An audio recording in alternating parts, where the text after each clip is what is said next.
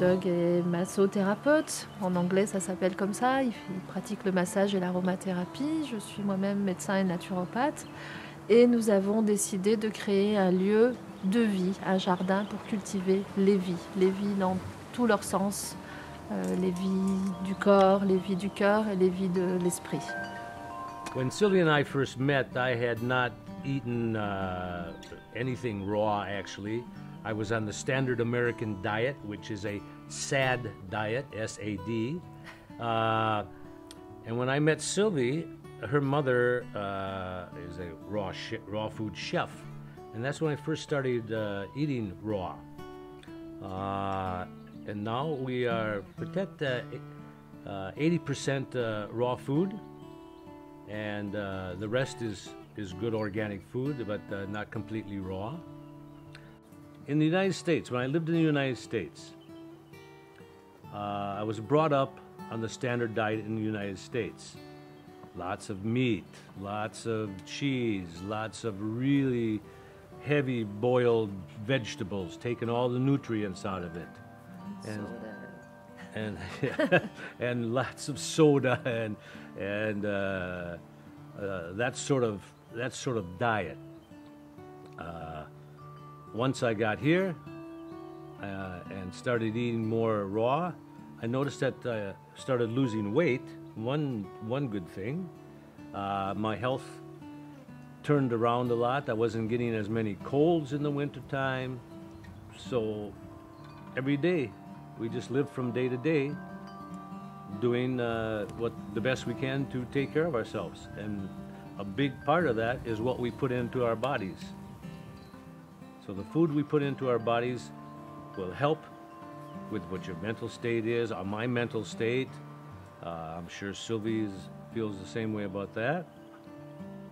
Uh, so from uh, day to day, we live our program, and we are, we are what we eat.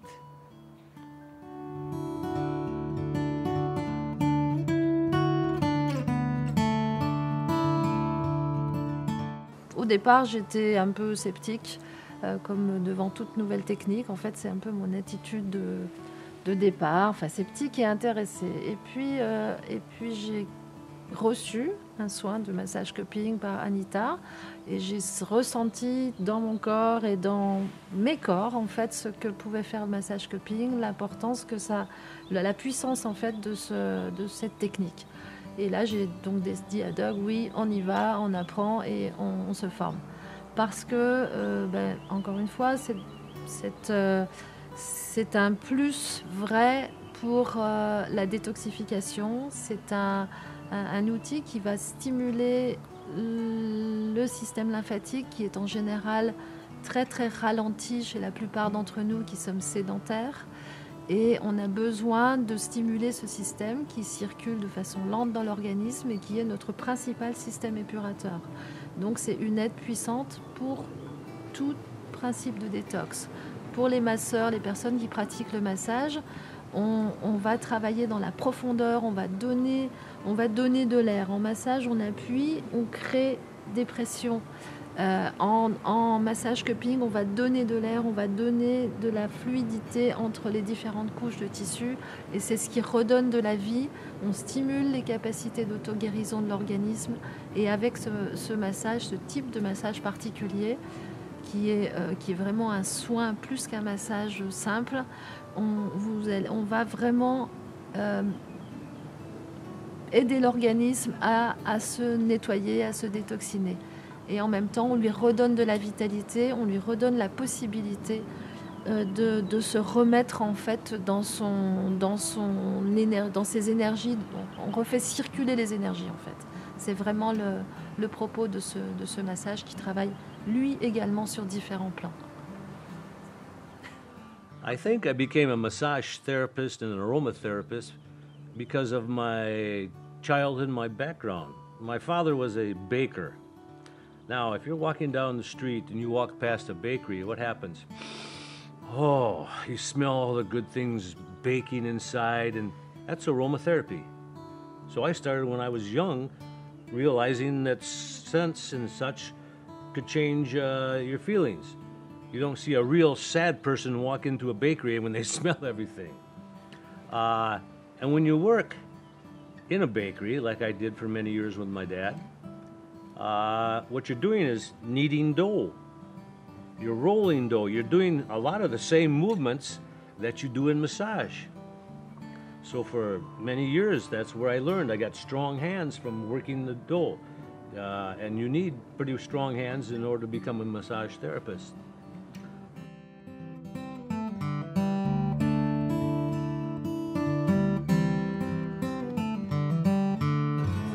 Ma part, comme je, l'ai dit précédemment, je suis, je suis tombée dans la marmite de la naturopathie toute petite. Et, donc, euh, ben, j'ai grandi avec ça, avec toutes les expériences que ma maman faisait au fur et à mesure de ses expériences. Euh, et puis, euh, et puis ben, j'ai, j'ai- au moment de l'adolescence, j'ai fait un choix de profession et j'avais, j'avais envie d'aider les gens. Voilà, c'était, c'était, je ne savais pas encore comment. J'avais envie de, participer à ça. Et, c'était dans les années 75, donc ça date un peu déjà. Euh, la naturopathie de l'époque en France, il y avait une école, c'était par correspondance. euh, voilà, ça me semblait quand même euh, assez peu me correspondre et j'avais besoin, j'avais besoin d'anatomie, de physiologie, de comprendre comment fonctionnait le corps humain, de comprendre la psychologie aussi. Et donc je, me suis dit, bah, je vais faire des études de médecine. Et puis, euh, puis je vais faire des études de naturopathie. Puis après, on, mélangera tout ça et on verra. Il, me semblait que c'était nécessaire de, de créer des ponts, de créer des liens entre ces mondes qui, qui ont tendance à se s'ignorer, voire, euh, voire plus. Et, et donc, c'est vraiment euh, de ces deux de ces deux connaissances, et il y en a même d'autres, puisqu'on a des, des médecines de, de partout dans le monde, qu'elles soient africaines, qu'elles soient euh, chinoises ou ayurvédiques. Et je me dis, et je me disais, je me dis de plus en plus, pourquoi se priver de telle ou telle connaissance sous prétexte que c'est pas mon référentiel Et le courant où moi je me retrouve maintenant, c'est ce qu'on appelle la médecine intégrée ou la médecine intégrative.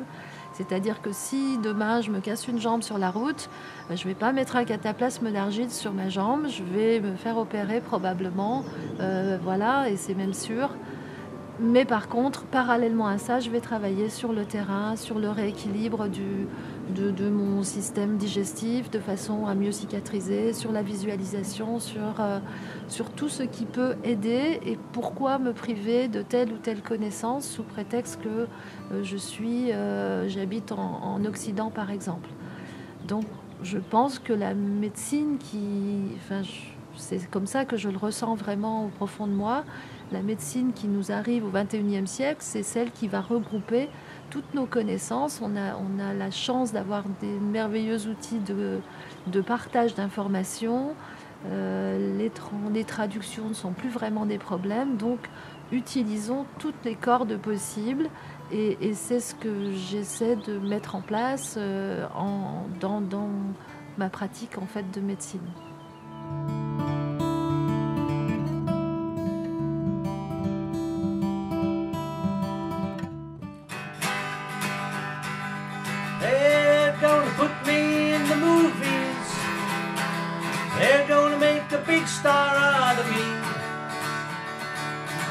Make a film about a man that's sad and lonely.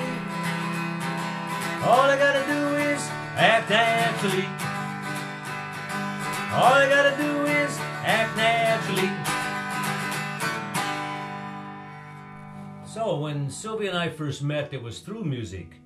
Uh, 12 years ago, her sister Nellie had a large birthday party and invited uh, me over from the United States.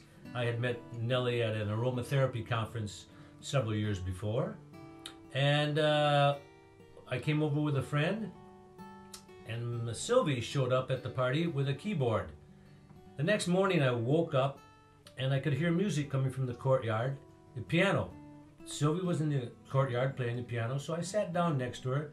She started playing Imagine by John Lennon. And uh, we sang along, and we kind of hit it off that day real well. Uh, she had to go back to work for a week out of uh, where we were in Avignon. And uh, she came back the next weekend, and we spent two days together getting to know each other. I left, went back to the United States. A couple of weeks later, she uh, emails me and said, Can I come over and visit? Well, uh, I said, Yes, let's find out what uh, we're going to do with each other here. So she came over, and we were had a little small vacation in out in the uh, eastern part of North Carolina when Hurricane Irene went through northern North Carolina and southern uh, Virginia. Uh, my team at that time was a team that went out and did chair massage on emergency responders. We would do 15 minutes of, uh, of a uh, stress reduction, energizing massage so they could go back and work. Well, you don't bring your girlfriend or your wife to a, uh, uh, a disaster like that. So I was trying to figure out what I would do with uh, uh, Sylvie. Well, Sylvie's a doctor. She can do practically anything. So I taught her the massage routine and took her along with me. And the two of us, along with our other team members, spent three days in uh, northeastern uh, North Carolina providing chair massage for uh, the emergency responders there. So that's how her first trip to the United States came. And we did two years of I would fly over and spend a month, she would fly over back to the United States. And uh, it came to a point where we had to decide where we were going to live. Since I was a massage therapist, my job is in my hands. I could move anywhere. Sylvie's a medical doctor, naturopathic doctor, and uh, it's a little hard to come to the United States without jumping through a lot of hoops and uh, having to take a lot of tests to become a doctor. And I felt I needed a change in my life. So I moved to France. A year or so later, we got married, and uh, and we found out during our courtship that we were very uh, like-minded in the health and uh, well-being uh, portions of our life.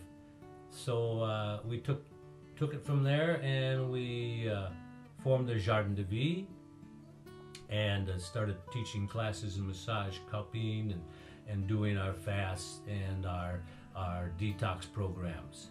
And that's a little story and how Sylvie and I met and how we still continue playing our music and uh, doing our programs and well-being and, and health.